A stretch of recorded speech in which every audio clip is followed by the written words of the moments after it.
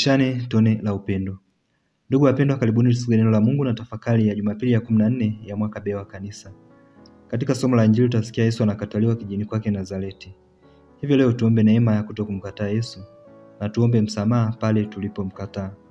Somo letu la kwanza linatoka katika kitabu cha nabii Ezekieli sura ya pili aya ya pili hadi ya tano. Bwana Mungu aliposema nami, roho ikaniingia, ikanisimamisha, nikamsikia yeye aliyesema nami. Akaniambia, mwanadamu, na kutuma kwa wana wa Israeli, kwa mataifa wanaoasi, walioniasi mimi. Wao na baba zao wamekosa juu yangu, naam, hata hivi leo. Na wana hao wana nyuso zisizo na haya na mioyo yao ni migumu.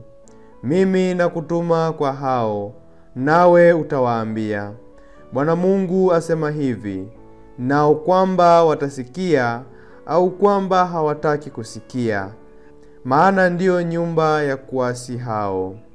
Hata hivyo watajua ya kuwa nabii amekuwako miongoni mwao. Neno la Bwana. Tumshukuru Mungu. Na somo letu la pili ni waraka wa pili wa Mtume Paulo kwa Wakorinto sura ya 12 aya ya 7 hadi ya kumi. Makusudi nisipate kujivuna kupita kiasi, kwa wingi wa mafunuo hayo nalipewa mwiba katika mwili, mjumbe wa Shetani, ili anipige, nisije nikajivuna kupita kiasi. Kwa ajili ya kitu hicho nalimsihi Bwana mara tatu kwamba kinitoke, naye akaniambia, neema yangu ya kutosha, maana uweza wangu hutimilika katika udhaifu. Basi nitajisifia udhaifu wangu kwa furaha nyingi, ili uweza wa Kristo ukae juu yangu.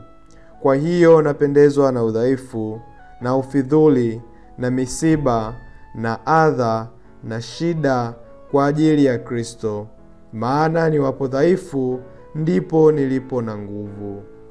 Neno la Bwana. Tumshukuru Mungu. Somo letu la Injili linatoka katika Injili ya Marko. Bwana awe nanyi na awe rohoni mwako. Somo katika Injili takatifu ilivyoandikwa na Marko. Utukufu kwako ee Bwana.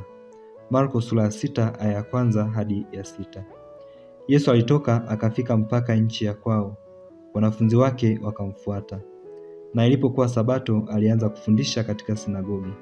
Wengi waliposikia wakashangaa, wakisema, huyu ameyapata wapi haya?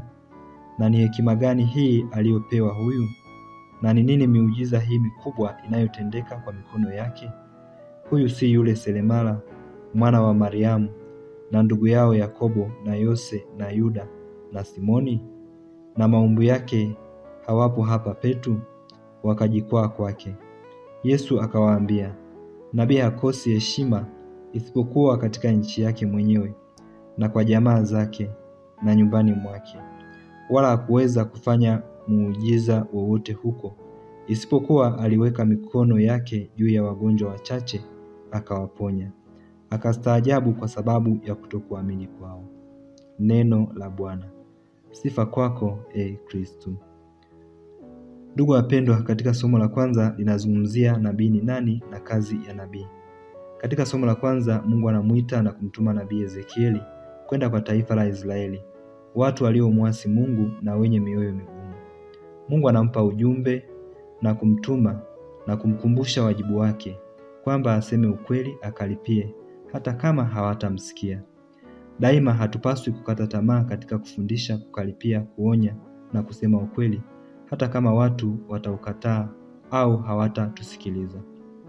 Ndugu wapendwa, somo la Injili linazungumzia kukataliwa kwa Yesu, sababu za kukataliwa na matokeo ya kumkataa. Yesu anakataliwa kijini kwake Nazareti kwa sababu wanamjua yeye na ndugu zake. Hawajawahi kuona Yesu anafundishwa au anaenda shule. Wanamjua ni mtu asiye na elimu. Wazazi wake ni watu wa kawaida. Pia huenda walijua madhaifu ya ndugu zake, hivyo wanashangazwa na hekima na miujiza anayoifanya, wakamkataa. Matokeo ya kumkataa Yesu, akawaponya wagonjwa wachache, akaondoka kijijini kwao. Injili ya Marko sura ya sita aya ya tano. Ndugu wapendwa, somo la pili linazungumzia udhaifu wa Paulo na neema ya Mungu. Paulo alikuwa na udhaifu wa kigugumizi, hivyo watu walimcheka na alimwomba Mungu mara tatu ili amwondolee udhaifu huo, lakini Mungu hakumwondolea. Mungu alimwambia, neema yangu ya kutosha, maana uweza wangu hutimilika katika udhaifu. Waraka wa pili wa Mtume Paulo kwa Wakorinto sura ya 12 aya nane hadi ya tisa. Ndipo Paulo anatambua amepewa udhaifu huu ili asijivune, na anatambua neema ya Mungu ipo juu yake. Hivyo anafurahia udhaifu wake, ufidhuli, adha, misiba na shida kwa ajili ya Kristo.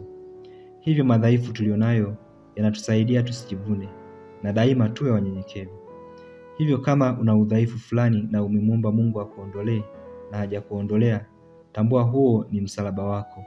Lazima ubebe kwa upendo, imani, uvumilivu, unyenyekevu kama Paulo, na utambue kuwa neema ya Mungu hufanya kazi. Ndugu wapendwa, kupitia masomo yetu ya leo tunapata mafundisho sita. Fundisho la kwanza, nabii ni nani na kazi ya nabii. Fundisho la pili, sababu za Yesu kukataliwa. Fundisho la tatu, namna tunavyomkataa Yesu. Fundisho la nne, namna tunavyowakataa watumishi wake. Fundisho la tano, madhara ya kumkataa Yesu, na fundisho la sita, jinsi neema ya Mungu inavyofanya kazi kwetu. Ndugu wapendwa, fundisho la kwanza tunaanza kulitafakari nabii ni nani na kazi ya nabii.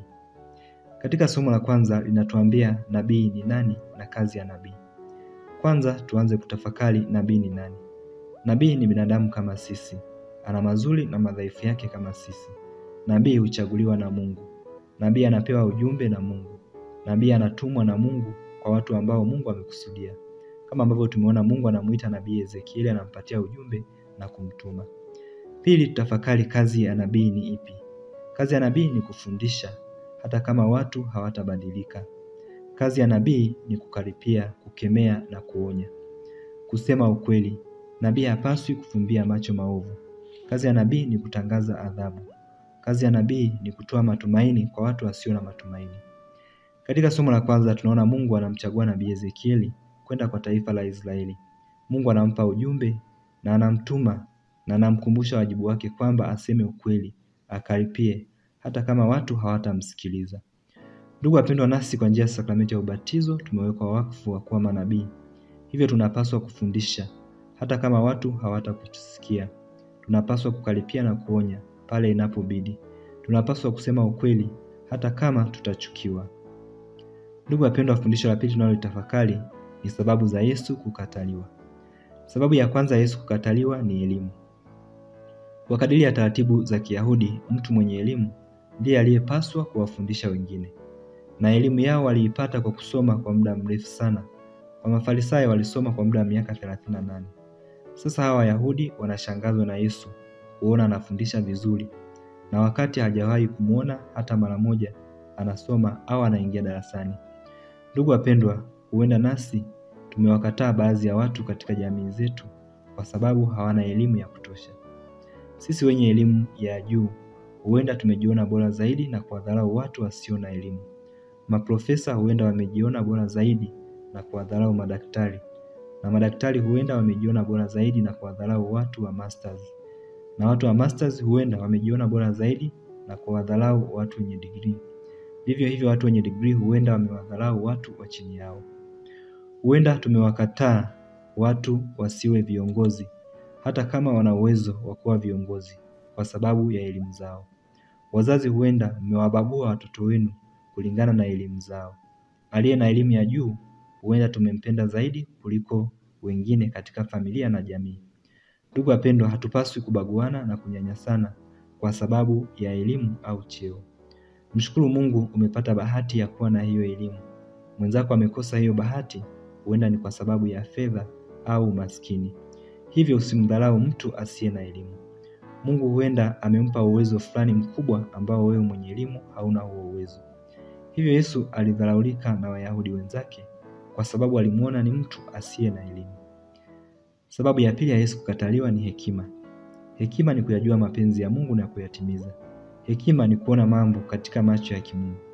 Yesu alipowafundisha watu na kujibu maswali yao vizuri, walitambua kuwa ana hekima ya hali ya juu kushinda wasomi kama Mafarisayo, wanasheria na kadhalika.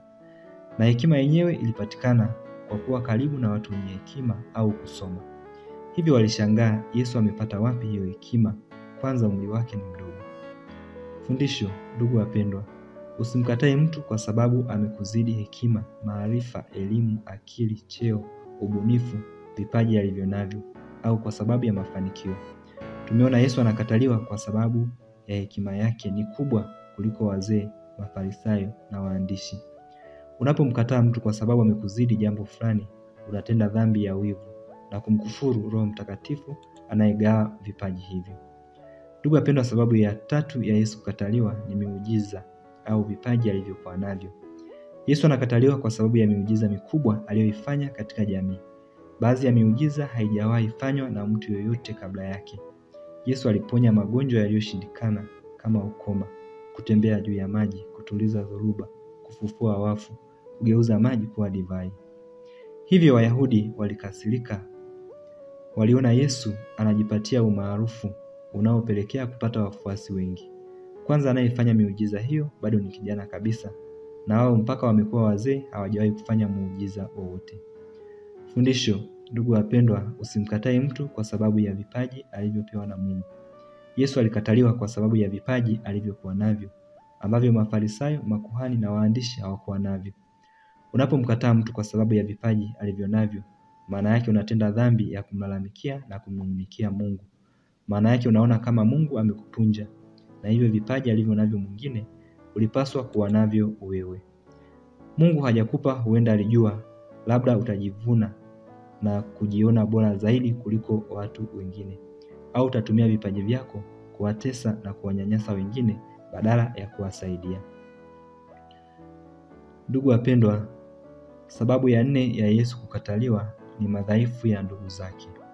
Yesu anakataliwa kijini kwake Nazareti kwa sababu ya historia ya ndugu zake. Watu wa Nazareti walimjua Yesu tangu kuzaliwa kwake, kukua kwake, kuzaliwa kama binadamu wengine, kukua kama binadamu wengine. Wazazi wa Yesu waliwafahamu vizuri, ni watu wa kawaida. Baba yake ni seremala na mama yake ni mama wa nyumbani. Ndugu zake Yesu wanawafahamu Yakobo, Yuda, Yose, Simoni. Hivyo walijua hata madhaifu ya ndugu zake. Hivyo wanashangaa kuona mtu wanayemjua vizuri, wazazi wake na ndugu zake, huenda hadi madhaifu ya ndugu zake. Wakajiuliza, hekima, maarifa kayatoa wapi? Fundisho, ndugu wapendwa, nasi dhambi hii tumeitenda. Tumewakataa watu kwa sababu ya historia ya wazazi wake au ndugu zake. Tumewakataa watu kwa sababu ya madhaifu ya ndugu zake. Mtu anaweza kuwa anaweza kuomba kazi sehemu fulani, labda kwa sababu ya historia ya ndugu zake au madhaifu ya ndugu zake, anakataliwa. Mbaya zaidi, wakati fulani tunawakataa watu kwa sababu anatoka kabila fulani. Hivyo tuache kumkataa mtu kwa sababu ya madhaifu ya ndugu zake. Mwombaji anaweza kuwa hana shida yoyote, lakini akakataliwa kwa sababu ya historia ya ndugu zake au kabila lake. Yesu historia yake ilikuwa ni nzuri, wala hakuwa na dhambi na madhaifu yoyote. Shida ni ndugu zake. Ndugu wapendwa, sababu ya sita Yesu kukataliwa ni wivu. Yesu anakataliwa kijini kwake kwa sababu ya wivu. Wanamwonea wivu kwa sababu ni kijana mdogo mwenye uwezo mkubwa. Wivu kwa sababu ya hekima, maarifa, akili, vipaji alivyokuwa navyo.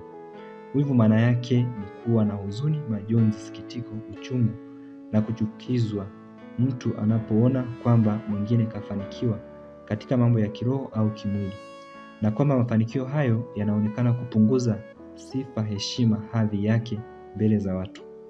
Kwa kifupi, wivu ni kutoridhika kwa mafanikio ya wengine. Wivu hupingana na amri ya mapendo, kwani badala ya kufurahia mafanikio ya mwenzako, wewe unahuzunika na kusikitika.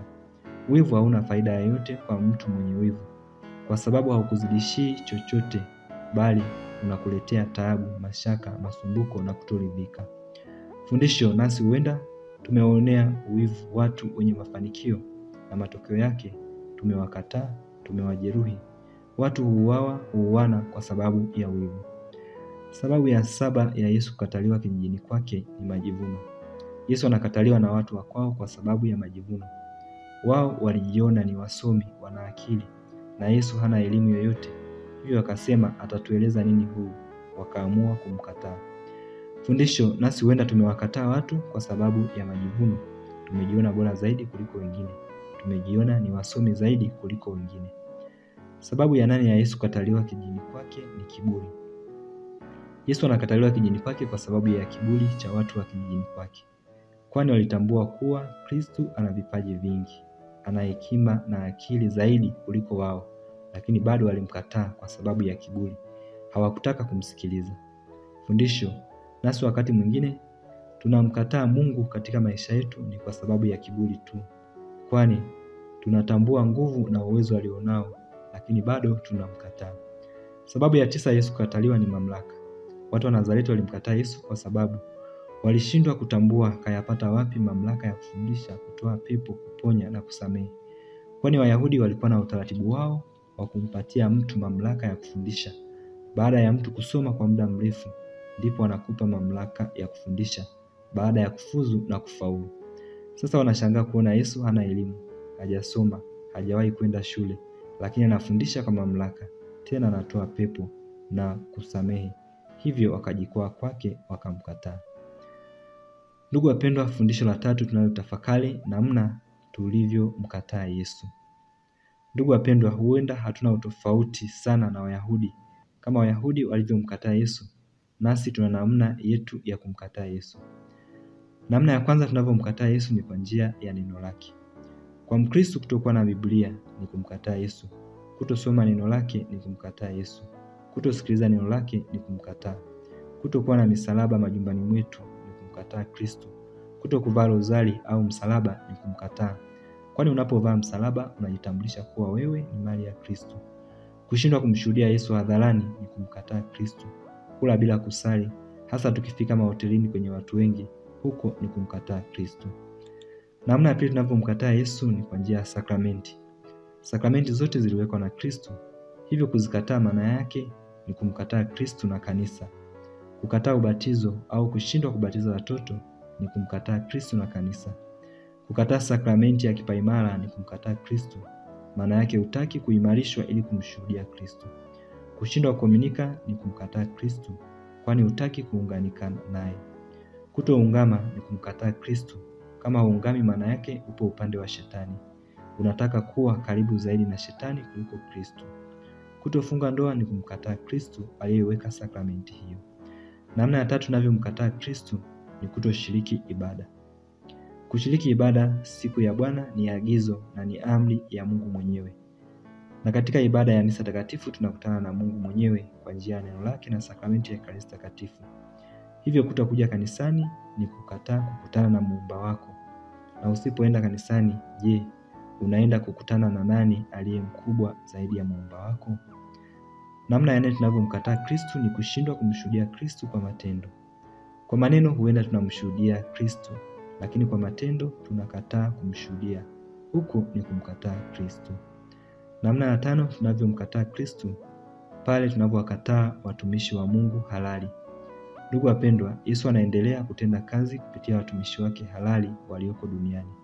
Hivyo kuwakataa watumishi wa Mungu halali ni kumkataa Kristu mwenyewe aliyewachagua na kuwapa mamlaka. Ndugu wapendwa, fundisho la nne tunalotafakari ni sababu za kuwakataa watumishi wake. Ndugu wapendwa, sababu zilizomfanya Kristo akataliwe na watu wa kijijini kwake ndizo hizo zinazotufanya tuwakatae watumishi wake. Sababu ya kwanza ni historia ya familia zetu. Yesu alikataliwa kwa sababu ya ndugu zake.